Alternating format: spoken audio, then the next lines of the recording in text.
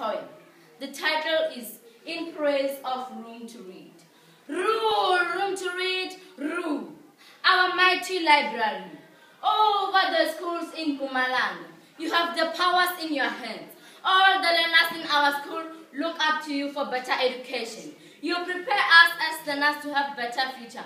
Now we can read and write. Through you, we have gained confidence and assurance. Look to today. There is a good interrelationship between our school and the community. Room to read, our pride, our future, our education. Rule, room to read, rule. To all different cultures, rooted to infinity. The more we read, the more we learn.